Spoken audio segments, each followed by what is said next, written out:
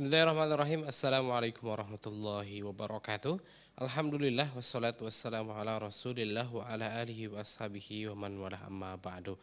Sahabat keluarga muslim dan juga sahabat dari salah di mana pun Anda berada. Apa kabar di pagi ini dan tentunya mudah-mudahan kita semua dalam keadaan sehat. Amin ya Allah ya rabbal alamin. Baik di minggu pagi sekarang hadir eh, podcast muslim dan insya Allah di setiap minggu kita akan membahas uh, suatu tema ya dan tentunya insya Allah kali ini kita uh, akan berbicara mengenai pendidikan. Dan bersama narasumber kita, kita akan lanjutkan lagi Alustad dengan Alustad Dr. Bahrul Ulum Hafizahullah Ta'ala.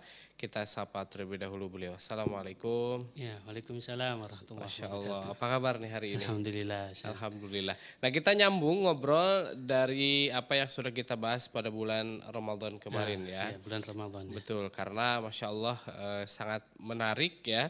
Ternyata eh, dunia pendidikan sudah kita banyak membahas dari awal siapa yang bertanggung jawab. Ternyata eh, banyak orang tua yang tidak mengetahui hal tersebut. Ternyata tanggung jawab pendidikan adalah tanggung jawab orang tua dan itu tidak bisa diwakilkan ya kalau tanggung jawabnya ya tidak bisa artinya ya tetap orang tua apa pun yang terjadi mau orang tuanya eh, aktivitasnya apa eh, dan lain sebagainya dan kemudian peranan-peranan lainnya dan kita akan uh, kembali menyambung ya pembahasan di kesempatan ini dan juga kami mengajak bagi Anda yang ingin bertanya langsung di 0617944282.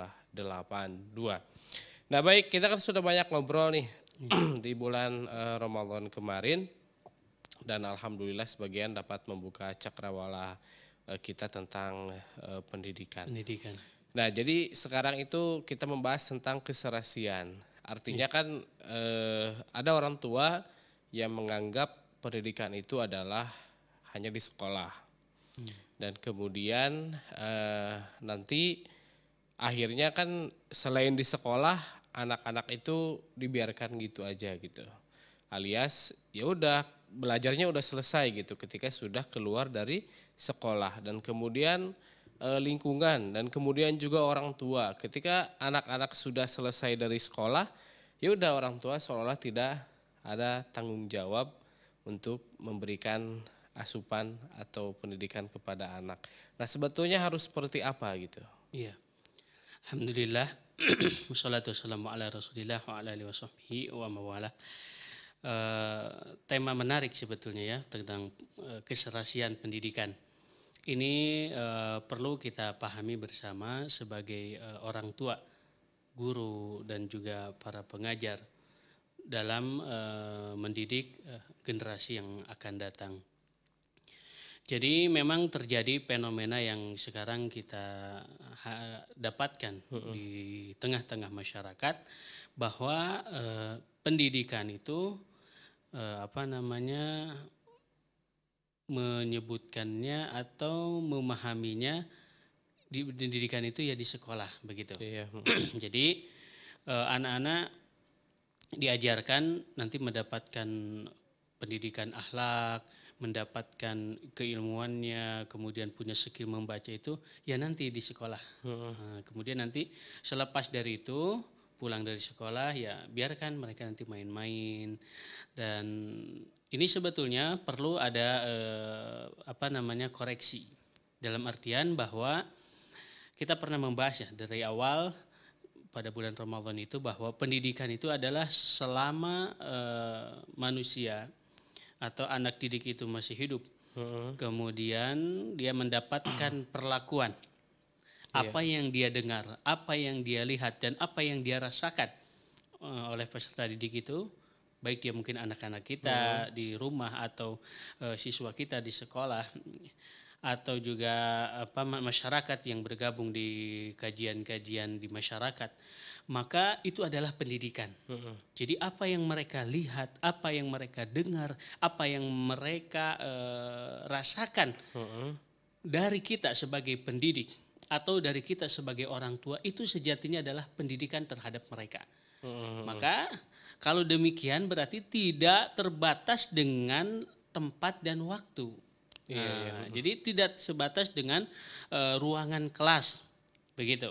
Atau dengan waktu hanya nanti pagi sore atau uh, apa namanya di kelas di sekolah atau di madrasah atau di rumah. Atau harus duduk tetapi di, uh, tidak harus duduk di bangku uh, tidak khusus. gitu ya. Nah, tetapi berarti dari awal dia bangun tidur sampai dia akan tidur kembali. Dan apa yang dilihat dari pendidiknya? Yang pertama mungkin dari orang tuanya. Maka hmm. itu adalah pendidikan Yeah. Nah, kemudian nanti uh, dia akan bergaul dengan masyarakat. Apa yang dia lihat, dengar dan dia rasakan di masyarakat itu adalah pendidikan terhadap dirinya. Hmm. Nah, jadi kita harus memperhatikan dalam hal ini adalah bagaimana lingkungan nah, di rumah itu harus menjadi lingkungan yang mengedukasi, yang menjadi pendidikan terhadap anak. Hmm. Itu. Jadi kita berusaha nih, berarti eh, pendidik utama di rumah itu adalah ayah dan bundanya. Nah, ayah dan bundanya ini dia harus bisa memerankan dirinya sebagai guru. Iya. Nah, nah kan eh, sebagian orang menganggap bahwasannya ketika orang tua menjadi pengajar juga kayaknya berat karena mungkin dalam eh, apa ya mindsetnya dia itu harus seperti guru, artinya harus uh, ada papan tulis atau anak harus diem segala macam padahal enggak gitu ya. Nah, itu inilah konsep yang harus kita pahami. Jadi uh, pendidikan itu bukan kita ngajarkan kayak di kelas begitu. Hmm, cara begitu. baca nah, gitu ya. Jadi ada uh, apa namanya bagian-bagian yang memang diajarkan secara teknik dan lain sebagainya. Hmm. Jadi tadi kembali bahwa eh, apa namanya esensi daripada guru itu adalah mendidik begitu -huh. kan? Mendidik dalam artian adalah menumbuhkan proses kan begitu? Bakat minat yang ada pada siswa atau pada anak untuk mencapai kepada kematangan kedewasaan -huh. kan begitu? Sehingga dia uh, cakap untuk uh, hidup uh, gitu cakap di masa yang akan datang. Terutama juga ada visi misi yang harus diemban dalam pendidikan kan yeah. begitu sehingga konsep eh, ayah bundanya itu menjadi seorang guru itu berarti eh, bukan harus dia apa kuliah dulu atau iya atau sesuai jurusan S1-nya pendidikan kemudian gitu. jurusan matematika dan uh -huh. sebagainya itu nanti kita akan bisa dapatkan nanti Nah, ada yang disebut sekolahnya. Nah, nah, sekolah inilah itu yang membantu sebetulnya pendidikan perpanjangan di rumah. Apa yang kita mampu ajarkan di rumah, berarti kita mampu sebetulnya mengajarkan di rumah adalah uh, adab itu pertama. Uh, pembiasaan dulu kepada anak-anak kita untuk anak-anak kita itu uh, bisa punya adab sopan santun, tata krama, akhlak. Jadi itu kita bisa ajarkan secara apa namanya tingkah laku keseharian. Iya, iya. Nah, kemudian kita mengajarkan kepada anak kita mana hal-hal yang berbahaya, mana hal-hal yang bermanfaat yang kira-kira mudah dijangkau oleh anak-anak. Kan begitu.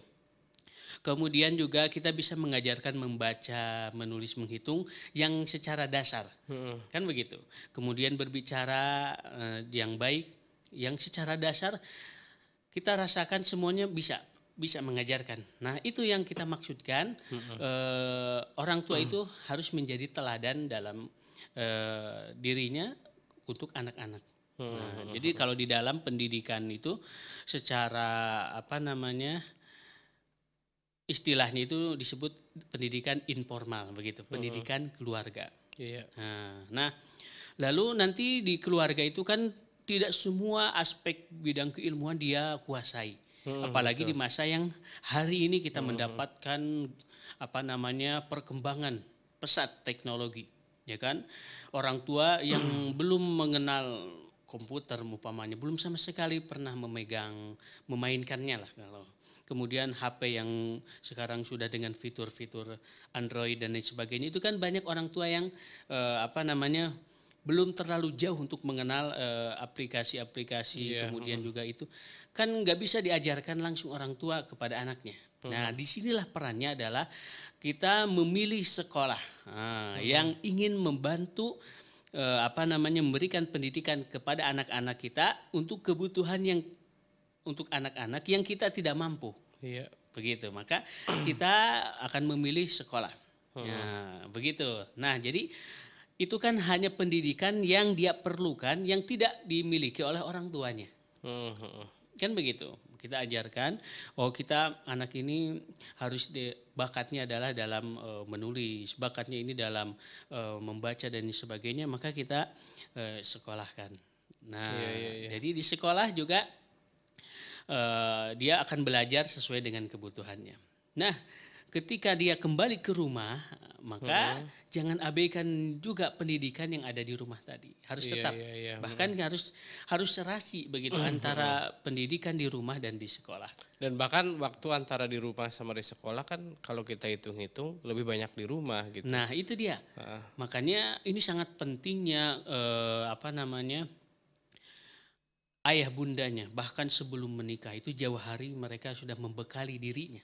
Jangan sampai kan e, rata-rata usia anak ketika sudah masuk sekolah minimal di usia pendidikan dini itu kan lima tahun. Yeah. Nah ketika anak di bawah lima tahun itu ketika mereka e, istilahnya ada kan yang adabnya kurang segala hmm. macam justru orang tua mengabaikan dengan alasan dia belum sekolah. Ah, nah, gitu. gitu. Dia belum sekolah, dia belum diajarkan uh, gitu. Uh, gitu. Jadi ini harus kita pahami. Hmm. Jadi pendidikan itu sejak uh, lahir bahkan sebelum lahir kalau hmm. dalam konsep Islam itu kan uh, tarbiyah qoblal wiladah, tarbiyah ba'dal wiladah kan begitu. Sebelum lahir anak itu ada konsep pendidikan. Oh, setelah lahir apalagi konsep pendidikan. Hmm. Mulai dari dia perkembangannya masa anak-anak, masa muda, masa dewasa, kemudian masa tua. Nah, itu kan hmm. pendidikan yang Makanya sebetulnya ilmu pendidikan, kemudian tugas tanggung jawab pendidikan adalah tanggung jawab e, seumur hidup begitu. Yeah. Selama dia e, menjalani kehidupannya, kemudian dia menjalani hubungan e, harmonis rumah tangganya, diberikan oleh Allah Subhanahu wa taala keturunan. Nah, di situ juga tanggung jawabnya lebih besar untuk mendidik e, keluarga dan anak-anaknya. Nah, begitu. Sehingga pendidikan itu kita harus serasikan Hmm. Ya, di rumah dia harus dapatkan, di sekolah juga dia dapatkan. Sehingga ketika nanti anak-anak e, belajar di sekolah, nah di rumah juga harus memainkan perannya. Hmm. Jadi kalau pulang dari sekolah kita diskusi, nah apa yang didapatkan di sekolah tadi. Iya. Nah, itu itu harus penting supaya kita jangan sampai di sekolah mendapatkan pelajaran A, di rumah sudah kita ajarkan e, B umpamanya materinya kemudian nanti anak jadi bingung uh, gitu. Terbelah kepribadiannya uh, karena memiliki uh, apa namanya pendidikan yang berbeda. Atau ada beda pemahaman gitu uh, ya? beda pemahaman sehingga membingungkan. Hmm, kan begitu. Jadi ini penting. Nah jadi kita harus berdialog dengan anak-anak kita. Apa yang mendapatkan dari sekolah uh-huh. gitu. Kemudian kita uji juga uh, bagaimana dan hasilnya Nah, setelah itu juga eh, anak itu kan tidak hanya di rumah, tapi dia juga butuh interaksi sosial dengan masyarakat, iya, iya. Nah, dengan temannya yang lain. Hmm. Karena memang manusia lahir, memang lahirnya secara independen sendiri. Dia iya, lahir hmm. tidak langsung oh, berjamaah, dia eh, lahir sendiri, tetapi dalam proses perkembangannya dia akan membutuhkan orang lain kan itu terutama ayah dan ibunya untuk mengawali proses pertumbuhannya lalu nanti ada teman-temannya kan hmm. itu paman, ua dan lain sebagainya itu juga menjadi lingkungan uh, pendidikan. Artinya di masyarakat juga, nah ini harus diperhatikan. Yeah. Nah, lingkungan masyarakat itu juga harus benar-benar memberikan pendidikan yang baik. Oke. Okay. Gitu. Betapa banyak orang tua yang berusaha untuk mengajarkan anaknya di rumah ayah bundanya sudah sepakat untuk belajar kata-kata dengan hmm. baik, akhlak dengan baik. Tapi ketika keluar rumah, nah, lalu dia biarkan aja dengan uh, apa namanya bela- uh, bermain dengan anak-anak. Iya. Tidak dipedulikan siapa Tidak mereka anak-anaknya, gitu ya. bagaimana hmm. tingkah lakunya, kemudian nggak tahu jam kapan dia. Pokoknya udah terserah dia. Yang jelas kan karena pendidikan itu di sekolah. Nah ini lagi-lagi penyakit ini yang harus okay. kita hindari. Akhirnya pulang dari rumah oh, kita kaget ucapannya hmm. jadi menyerap kata-kata yang tidak baik kotor, gitu ya. Kemudian juga uh, tidak sopan dan sebagainya hmm. karena betul ini lingkungan itu akan lebih uh, besar apa namanya efek dari pendidikan terhadap anak. Oke, berarti nah. bisa kita sederhanakan ada tiga tiga apa ya? tiga porsi lagi dalam pendidikan, lingkungan, ya. tiga lingkungan. Eh, yang pertama dari keluarga, Ya, di mungkin, keluarga, kemudian kemudian sekolah di sekolah, dan juga lingkungan di masyarakat. di masyarakat. Oke, kita bahas setelah jeda ya. Nah, insya Allah sahabat semua dan tentunya nanti di eh, segmen berikutnya bagi anda yang ingin bertanya langsung juga silahkan di 0617944282. Baik, jangan ke mana-mana tetap di podcast Muslim.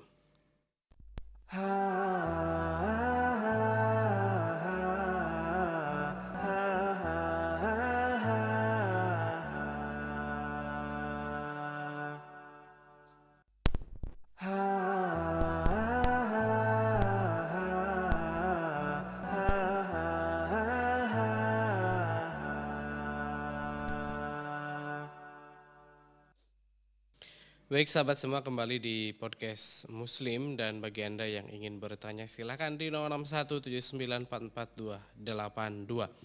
Baik, eh, kalau kita mau eh, ngebahas lebih eh, dalam lagi mengenai keserasian pendidikan artinya kalau kita lihat dari eh, apa ya segi ruang lah.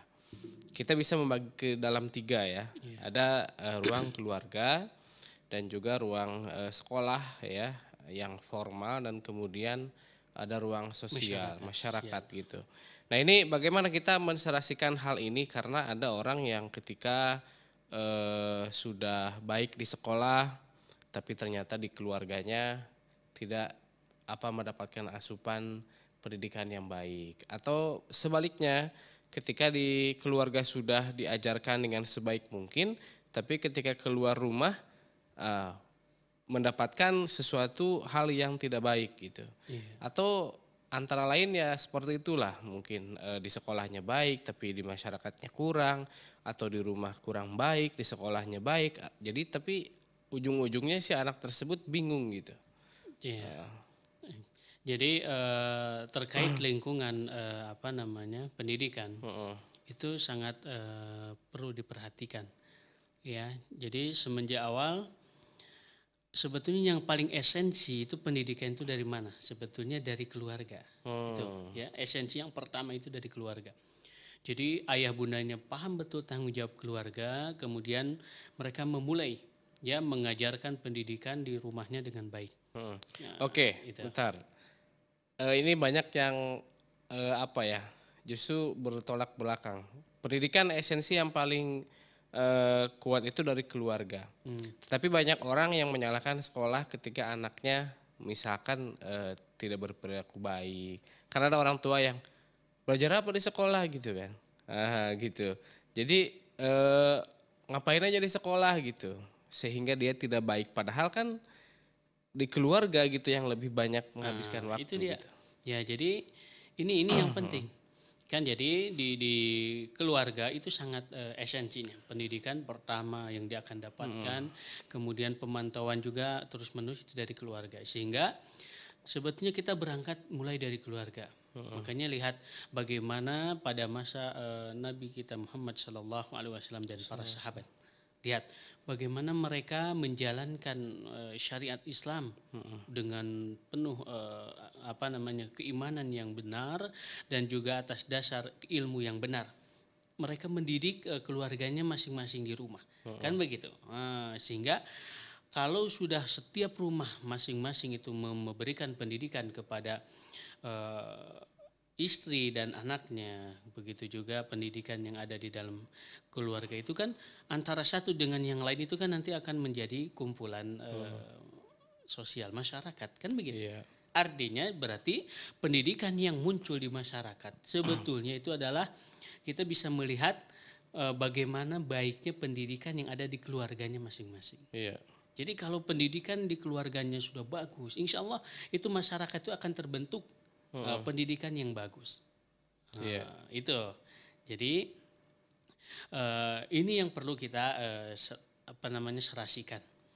Kemudian juga adapun e, sekolah itu kan hanya jembatan formalitas hmm. yang dia pendidikan tidak bisa kita lakukan di rumah dan juga di masyarakat secara umumnya. Hmm. Nah, karena dia harus punya e, tempat yang khusus, kemudian juga guru-guru atau pendidik-pendidik yang memiliki kemahiran kecakapan masing-masing yang kita butuhkan itu kan e, kita disatukan di sebuah tempat e, itu yang disebut sekolah madrasah. Nah, yeah. nah jadi keilmuan, kemudian pendidikan yang didapatkan nanti di sekolah itu sebetulnya perpanjangan dari keluarga. Mm-hmm. Yang ada di masyarakat juga itu adalah perpanjangan dari keluarga. Sehingga nanti jangan terbalik kan begitu. Yeah. Konsep pendidikan itu berangkat dari sekolah dulu, iya, berangkat yeah. dari masyarakat apa yang didapatkan, mm-hmm. lalu nanti kita lihat ke perilaku anak. Iya, tiba-tiba yeah. dia bandel, tiba-tiba apa lalu kita akhirnya menyalahkan seperti yang Betul. tadi. Begitu. Emang di sekolah apa diajarin? Mm-hmm. Ngomongnya kasar gitu. Atau nanti e, berkawan sama siapa uh, gitu. Uh, Jadi nyalahkan gitu. lingkungan gitu. Kemudian di masyarakat dibilang mm-hmm. sama siapa e, bergaul dan gitu lain ya. teman.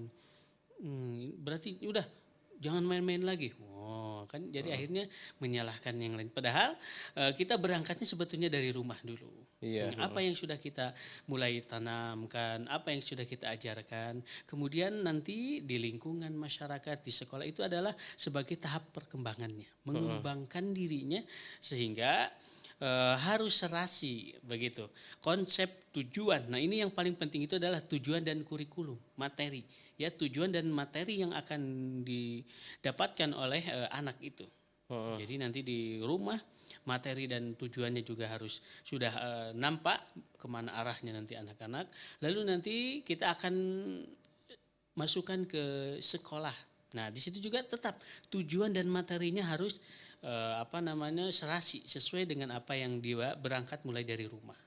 Nah, kemudian nanti di lingkungan masyarakat biasanya ada eh, kegiatan-kegiatan uh -uh. yang mereka mendermakan jiwanya untuk yeah. apa namanya membangun anak bangsa begitu di masyarakat dengan adanya kepedulian mereka kan uh begitu ada rumah Quran biasanya ada rumah tahfidz kemudian ada halako-halako atau kegiatan yang lain sebagainya termasuk juga nanti keterampilan barangkali uh, di masyarakat ini harus uh, mendukung para pemuda-pemudinya untuk bisa punya uh, skill kemampuan yang bisa dikelola oleh masyarakat supaya seperti uh, jahit menjahit umpamanya yeah. untuk perempuan kemudian teknik apa namanya merajut dan lain sebagainya nah ini semuanya itu kan berangkatnya itu dari uh, rumah. Hmm. Karena ayah dan bundanya itu yang lebih tahu terhadap karakter, tabiat dan juga uh, sikap anak. Yeah. Kan gitu. Mereka yang lebih tahu. Kan begitu. Nah, jadi mau diarahkan ke mana? Maka nanti begitu juga di sekolah. Nah, nanti tugas kita umpamanya kita sekarang uh, belajar apa namanya bertugas di lembaga pendidikan di sekolah lah taruh e, misalkan maka di sini juga kita harus memainkan peran hmm. jangan dia mengajarkan hal-hal yang e, dia sendiri tanpa koordinasi dengan orang tuanya hmm. tanpa ada hubungan dengan mereka tanpa ada kerjasama dengan mereka justru guru nanti pendidik yang ada di sekolah dia harus mengajarkan anak-anak kemudian atas e, apa namanya dialog hmm. dengan orang tuanya Iya, iya, nah, iya. Atas kerjasama dengan orang tuanya. Ini anak bagaimana, apa sih e, bakatnya, lalu uh -uh. bagaimana. Setelah dia ajarkan di sekolah, kemudian titipkan juga ke orang tua. Iya. Nah, benda mohon juga diteruskan diajarkan. Jadi terus harus ada jalin komunikasi. Oke. Okay. Nah ini fenomena yang banyak uh. juga. Nah ini mungkin eh, sahabat semua di antara orang yang mana. Eh, ini lingkungan kecil aja lah. Iya. Eh, ketika kan ada sering yang di lingkungan masyarakat itu ngaji maghrib ya. Hmm. ngaji ngaji maghrib gitu. Kadang di masjid atau juga ke rumah ustadznya. Yeah. ada orang yang diantar sama orang tuanya anaknya tersebut dan orang tuanya menitipkan kepada guru ngaji. Yeah. gitu. Dan juga ada e, sebuah interaksi istilahnya ada e, bahasa nitip anaknya gitu. Dan ada ada juga anak yang datang tiba-tiba nongol gitu ya kadang akhirnya banyak bolos segala macam gitu ya artinya ya ini orang tuanya tidak perhatian gitu yeah. nah ini banyak juga hal semacam ini dan ini pun juga kalau kita lihat ada sedikit perbedaan antara prestasinya dan juga perilaku si anak tadi gitu. Yang orang yang diantar berarti kan diperhatikan. Hmm. Sementara orang yang tidak diantar sama orang tuanya ya kadang eh, suatu hari bolos gitu. Iya. Nah itu makanya inilah keserasian tadi itu. Jadi kita harus memahami betul pendidikan itu tadi yeah. kan begitu sehingga eh, ketika dia eh, nanti ke rumah ustadz atau biasanya apalagi kalau kita masa-masa kecil kita kan kalau orang tua dia biasa membiasakan antara maghrib dan isya itu milik keluarga biasanya. Oke, nah, bentar, tahan dulu ada penelpon. Nah. Halo, assalamualaikum. Iya, halo, assalamualaikum. Waalaikumsalam warahmatullahi wabarakatuh. Iya, dengan siapa dan di mana? Ummu Khafijah, Iya, baik. Silakan pertanyaan. Nah, ya, Ustaz. Assalamualaikum warahmatullahi wabarakatuh, Ustaz. Waalaikumsalam warahmatullahi wabarakatuh. Taqabballah min minka, Ustaz. Ya, taqabbal ya Karim. Ya, Ustaz. Ini mau ini Ustaz bertanya lagi soal ini. Ustaz kan dulu pernah bertanya kata Ustaz ya. kalau anaknya tidak disekolahkan TK tidak mengapa tidak merampok hak bermainnya kan begitu ya, ya Ustaz ya. Cuma saya mau membuat metode untuk yang nomor enam ini seperti abangnya juga nggak usah TK gitu. Hmm. Tapi kok ada ngerasa gini ya Ustadz ya, anak yang nomor lima ini nggak TK dia seringnya gini, kepingin naik itu yang ada mainan di TK-TKan itu gitu Ustadz. Iya. Oh iya. Iya, sementara dia kan tidak saya sekolahkan TK gitu yeah. Seperti itu, jadi gimana gitu Ustadz solusinya nanti kalau untuk yang keenam juga yang seperti itu gitu. Sementara kita kan nggak punya mainan-mainan itu di rumah begitu hmm. kan. Nah, uh, terus boleh yang kedua Ustaz? Iya silakan. Ya begini Ustaz. Ada anak yang paling besar itu kan kalau sudah pulang mondok agak sedikit inilah kita tarik ulur tarik ulur begitu Ustaz kadang dianya minta dolan ke rumah temannya gitu. Cuman yeah. kita kasih batasan waktu jangan lewat jam 11 begitu. Hmm. Hmm. Bagi dia itu masih masih terlalu sore karena berangkatnya juga udah jam setengah 10 gitu kan Ustaz. Yeah. Jadi kita pokoknya komitmen mau pulang jam segitu atau enggak ternyata dia melanggar itu gitu lewatlah satu jam gitu kan. Yeah. Akhirnya kita kasihlah tidak tidak kasih lagi kebebasan Uh. Jangan lagi pergi keluar malam kita gitu Ustadz dan uh. tidak boleh membawa handphone begitu Ustadz ya. Yeah. Jadi apakah ini terlalu berlebihan atau gimana ya Ustadz ya? Iya iya. Nah, itu aja Ustadz syukron atas penjelasannya nanti. Assalamualaikum warahmatullahi wabarakatuh. Waalaikumsalam warahmatullahi wabarakatuh. Baik, kita tahan dulu pembahasan yang tadi. Ya, ini eh, kepertanyaan langsung yang diajukan kan anak e, tidak e, boleh tidak dimasukkan ke TK alias e, kalau bahasa sekarang homeschooling kali ya. Iya. Jadi e, di rumah gitu kita e, memberikan pelajaran. Tapi fasilitas di rumah sama di TK itu kan beda ada permainan. Sementara si anaknya itu inginlah bermain-main seperti yang di TK itu mungkin ada perosotan lain sebagainya gitu. Nah Gimana kalau di rumah solusinya untuk memberikan kepada anak gitu? Ya, uh, sebetulnya kan itu apa namanya ketika kita memutuskan pendidikan anak di rumah, maka sebetulnya fasilitasnya itu juga uh, kita konsekuensi itu harus juga bisa apa namanya uh, memenuhi Eh, kebutuhan si anak tadi. Mm-hmm. Makanya wajar ketika si anak ingin perosotan, ingin apa permainan itu mm-hmm. karena memang masanya untuk itu. Bermain ya. Nah, masanya mm-hmm. untuk bermain. Maka itu juga kita harus fasilitasi sebetulnya. Mm-hmm. Tapi kan tidak mampu dan lain sebagainya. Nah, sekarang masalahnya kan banyak sekarang uh, di masyarakat juga. Biasanya kan ada uh, tempat-tempat uh, rekreasi kan tempat bermain yang seperti hmm. di taman-taman itu yeah. ada apa namanya uh, untuk masyarakat biasanya. Hmm. Nah, mungkin sekali-kali kita ke sana begitu. Jadi intinya sebetulnya ketika kita uh, pendidikan yang di TK tadi yang formal itu sebetulnya itu adalah penyambung kan begitu. Penyambung yeah. pendidikan yang kita tidak mampu sebetulnya. Hmm. Nah, tidak kan kita gak mampu umpamanya uh, pendidikan sekarang berbasis IT kan itu mendukung teknologi yang harus anak itu bisa tepat. Kita nggak mampu harus beli komputernya, harus punya ruangannya, harus hmm. punya audionya, punya proyektornya. Kan itu kita nggak bisa. Yeah, gitu. Yeah. Makanya di situlah perannya sekolah. Nah ini yang harus kita bangun hmm. pola pikir kita.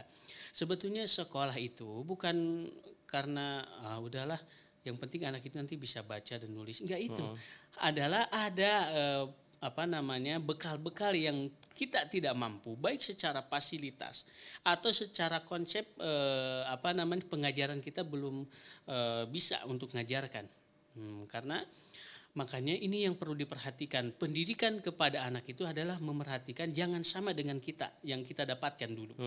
Karena pendidikan yang akan didapatkan oleh anak masa yang akan datang itu berbeda Iya. masa yang akan datang itu mereka akan mendapatkan eh, tantangan yang luar biasa. Hari ini kita dihadapkan dengan eh, teknologi eh, perkembangan yang dahsyat. Yang banyak sekarang yang tadinya dilakukan kan pekerjaan itu oleh manusia langsung tetapi sekarang sudah mulai dengan Robot ya, teknologi dengan online dan tinggal klik-klik dan lain sebagainya. Itu kan menunjukkan skill kebutuhan yang tantangan di hadapan kita itu akan eh, lebih kompleks gitu. Nah, ini di- dibutuhkan oleh nanti generasi yang akan datang. Nah, itu bagaimana menyikapinya? Kalau hanya sebatas eh, udahlah seperti pengalaman dulu lah bagaimana ngajarkannya itu jangan sampai di sini.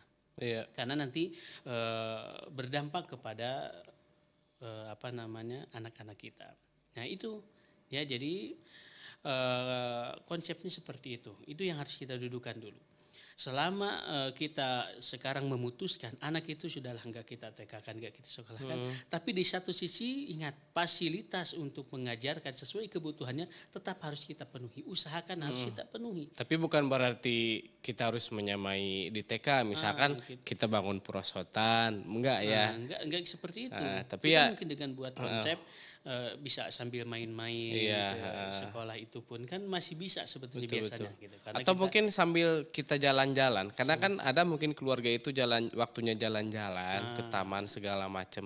Sebetulnya itu bisa sambil ya sisipkan belajar gitu ya. Nah, Harusnya itu. gitu. Jadi sebetulnya itulah tadi kembali ya. Jadi konsep eh, pemutusan kita kalau memang di rumah berarti kita harus konsekuen juga.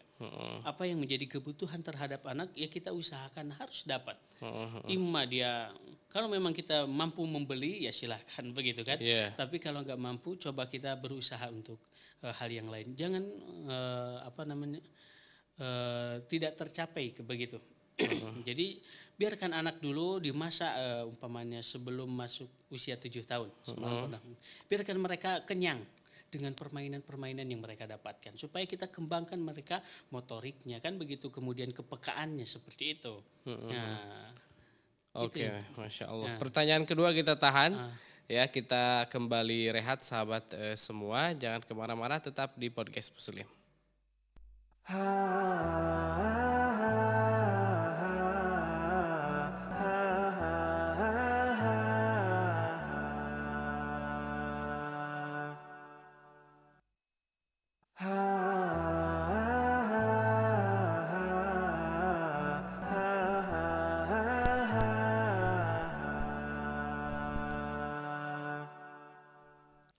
Ya baik sahabat semua kembali di podcast eh, Muslim. Kita kembali ya untuk membahas dan tadi satu pertanyaan lagi dari Ummu Hafizun ya ketika eh, mengajarkan kepada anaknya. Artinya tadi ceritanya ini ketika ingin eh, ke lingkungan yang ketiga di sosial. Tadi kan di sekolah udah sudah terjaga kemudian di keluarga juga eh, dijaga gitu ya artinya di porsi. Jadi ketika dia ingin ke masyarakat ingin ke sosial ada beberapa syarat lah gitu. Nanti pulangnya jangan terlalu malam gitu konsekuensi dan ternyata eh, pernah melanggar gitu. Melanggar artinya sudah eh, melanggar waktu yang ditentukan dan akhirnya ada konsekuensi seperti jangan keluar lagi gitu. Apakah itu sudah tepat atau terlalu berlebihan gitu? Ya. Eh, sebetulnya terhadap eh, apa namanya hal ini eh, kita terlupakan terhadap solusi sebetulnya. Ketika anak ingin keluar bermain dengan anak-anak yang lain, lalu kita cegah umpama, jangan, udah di rumah aja. Lalu habis ini dibiarkan. Mau ngapain di rumah juga, begitu. Nah ini ini penting juga kita perhatikan ketika anak ingin eh, bergaul dengan orang lain kemudian kita dapati ah, kayaknya gak cocok udah nggak usah pergi pokoknya di rumah deh di rumah pun dia nggak nggak diarahkan umpamanya oh. sama uh, ayah bundanya nggak tahu ngapain. ada kegiatan gitu. Ya. Jadi akhirnya kan bingung sebetulnya ekspresi ini sebetulnya eh, yang akan muncul dari anak itu kenapa dia butuh keluar mungkin barangkali barangkali di rumahnya memang sudah uh, belum nampak apa yang mau di, dikerjakan iya. atau uh, stimulus nah, stimulus dari orang tua nggak nampak harus diapakan iya. nah itu itu yang harus kita perhatikan juga Ya, sehingga eh, terhadap anak-anak itu perkembangannya itu bisa eh, mereka tidak akan terjadi pemberontakan terhadap dirinya. Uh-uh. Ya, kan itu. Contoh kasusnya umpamanya yang sekarang kita sudah tren dengan uh, media sosial. Belajar dengan IT melalui handphone umpamanya Android dengan webinar dan sebagainya. Itu kan ketika awal pandemi kan 2019 itu kan sudah mulai dibuat seperti itu orang iya. tua banyak yang nggak paham kan oh, dengan uh, model ya. Nah, akhirnya kan mau diajarin sama orang tuanya nggak bisa, yang bisa yeah. itu mungkin temannya dia umpamanya. Oh. Nah, maka dia akan beralih ke perhatiannya ke temannya kan begitu. Yeah. Bagaimana cara buatnya? Maka Nah ini adalah sebuah kewajaran kan begitu. Jadi yeah. harus diakui juga si orang tua untuk hal ini. Uh-uh. Nah kan seperti itu. Ini konsekuensi. Kalau tidak maka akhirnya kan Eh, terjadi hal yang nanti bertentangan dengan dirinya. Dan hal yang paling uh, apa namanya dilihat dari efek negatifnya itu ketika anak itu lalu kecanduan dengan HP-nya dan orang tua yang tidak eh, apa namanya memperdulikan lagi dengan menggunakan HP anak. Makanya dibiarkan dia menonton dan lain sebagainya ini terlarut. Dan ini yang harus kita eh, pantau itu. Sehingga uh, dalam hal ini kita perlu juga apa namanya uh, kerjasama antara ayah bundanya dalam uh, mendidik anak seperti ini.